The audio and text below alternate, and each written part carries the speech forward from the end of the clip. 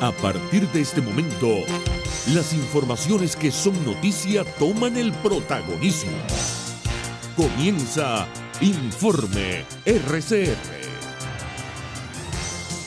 Muy buenas tardes, bienvenidos a este Informe RCR edición meridiana que llega a ustedes a nombre de Jaime Nestares en la dirección general de la estación, de Ulitz Arcaya en la gerencia de producción, de Marilia García en la coordinación de redacción, en la producción Génesis Rodríguez y en la dirección técnica César González. Les saluda Genis Barreto a nombre de todo el equipo. Comenzamos.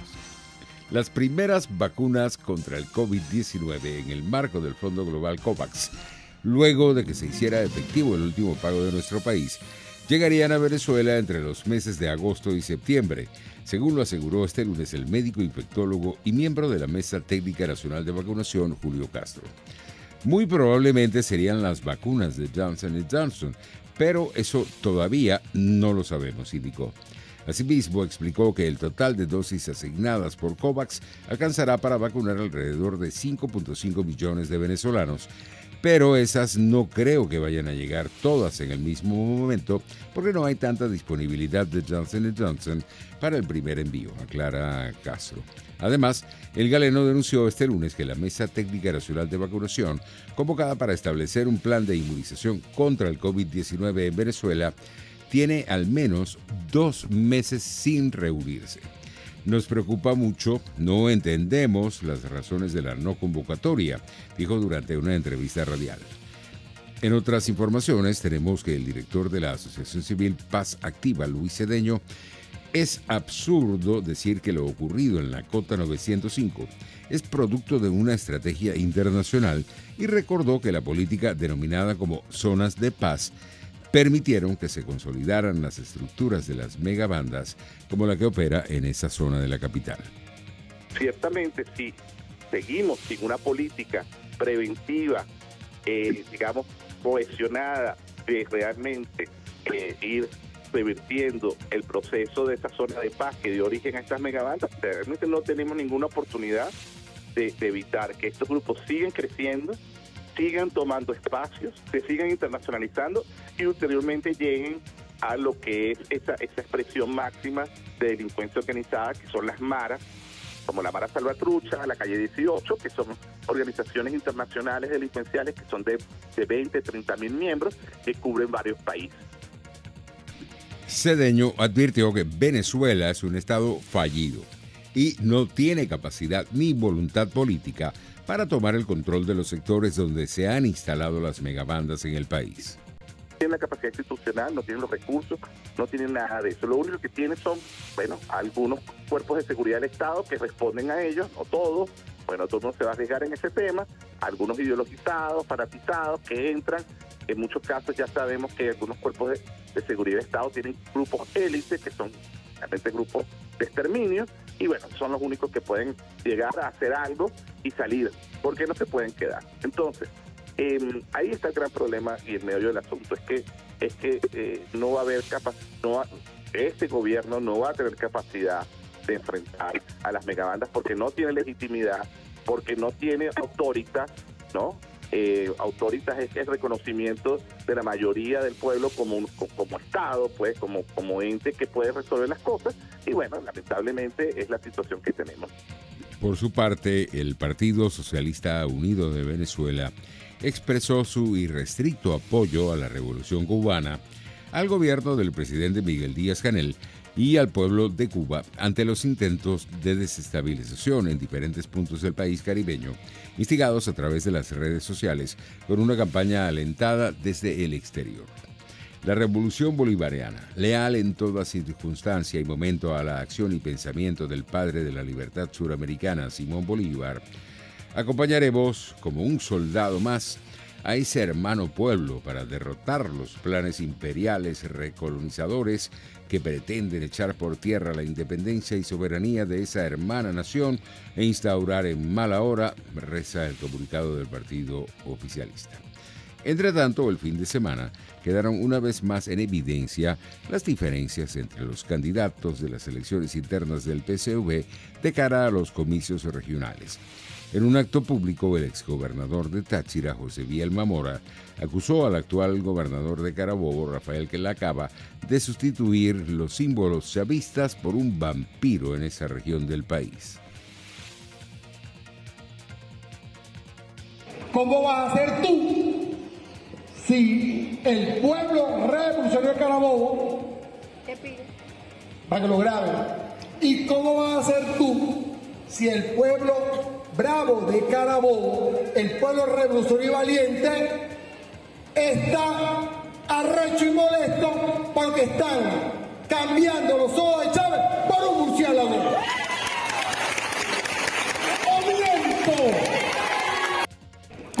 En otras informaciones tenemos que el diputado por 20 Venezuela en la Asamblea de 2015, Omar González, le advirtió a la misión técnica de la Unión Europea que está en nuestro país que las elecciones regionales del mes de noviembre son una artimaña del régimen venezolano para conseguir la legitimidad que no posee y lamentó que haya sectores de la oposición que estén encubriendo la estrategia de Maduro.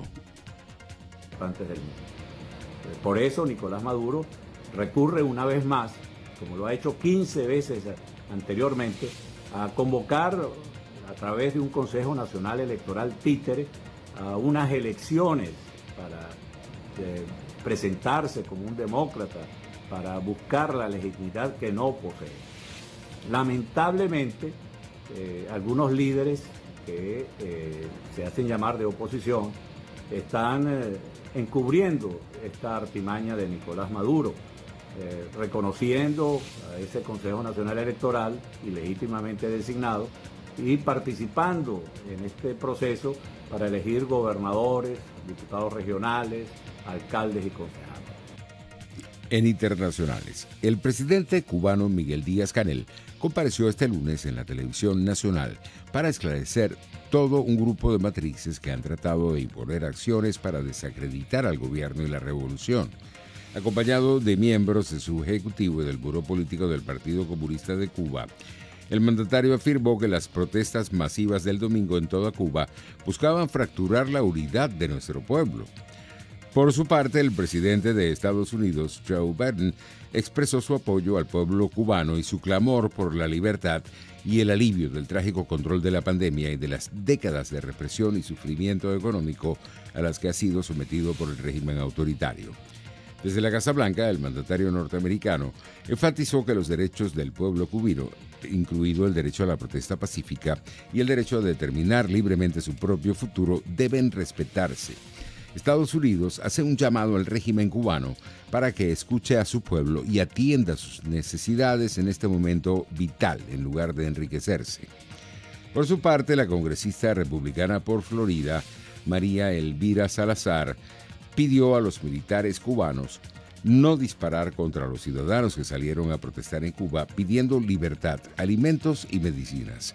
La representante advirtió que el Congreso de Estados Unidos apoya al pueblo cubano y agregó que las manifestaciones de este fin de semana en la isla podrían ser el principio del fin de la dictadura. Solos. Le decimos a los policías y a los militares que están pensando dispararle a ese a ese pueblo. No lo hagan, porque los Estados Unidos va a estar con el que está con el pueblo cubano, el pueblo legítimo, el pueblo que está pidiendo algo que quiere todo el mundo, medicinas, libertad, democracia, comida y amplitud. Por eso le digo nuevamente, aquellos que están pensando reprimir al pueblo, los Estados Unidos, ya sean demócratas o republicanos, no importa, estamos todos unidos en el Congreso Federal y junto con la administración del presidente Biden en apoyar a aquellos que apoyan al pueblo cubano. Entre tanto, el presidente de México, Andrés Manuel López Obrador, expresó solidaridad con el pueblo de Cuba e instó al gobierno a encontrar solución a través del diálogo sin uso de la fuerza y sin violencia.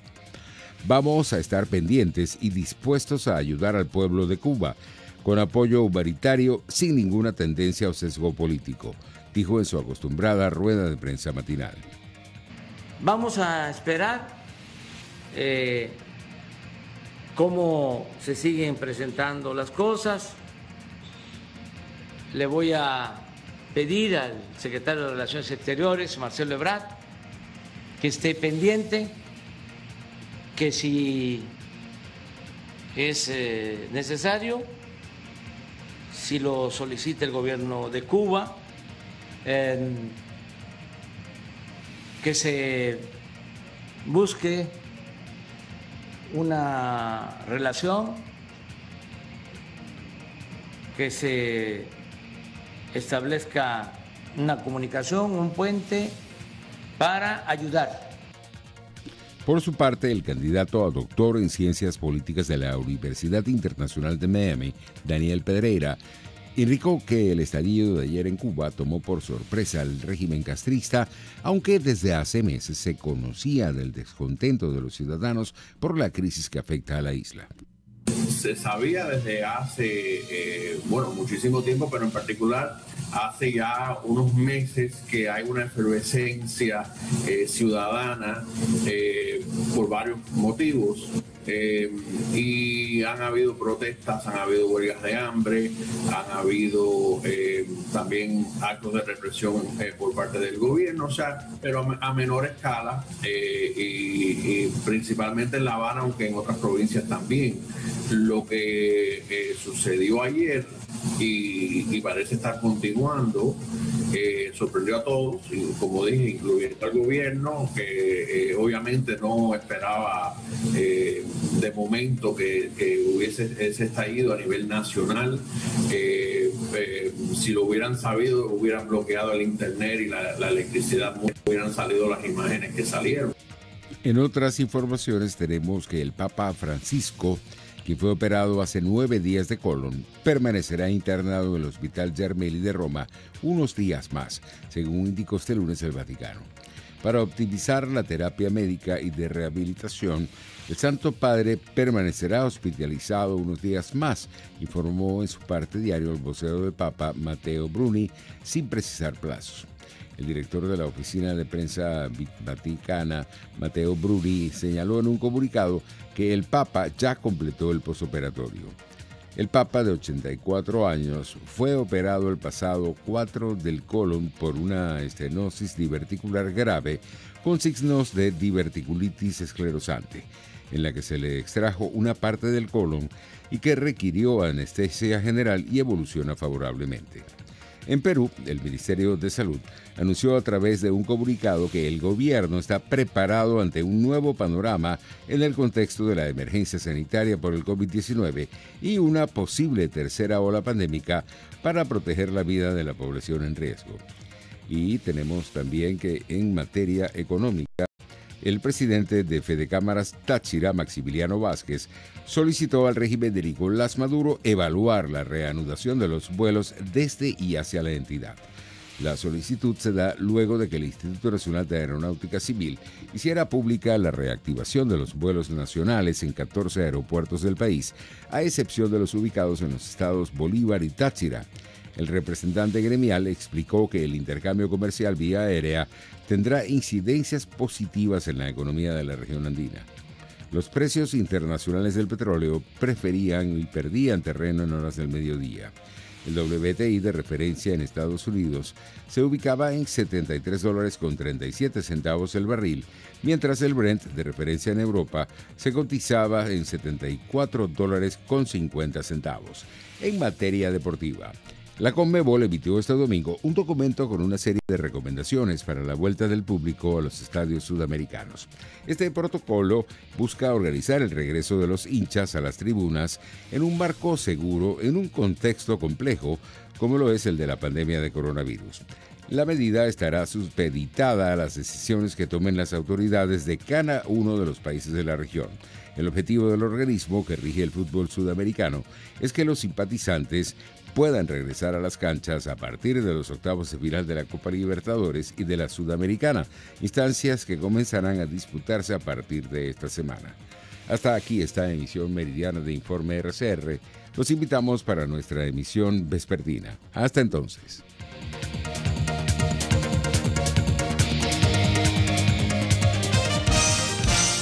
Hasta aquí este compacto noticioso.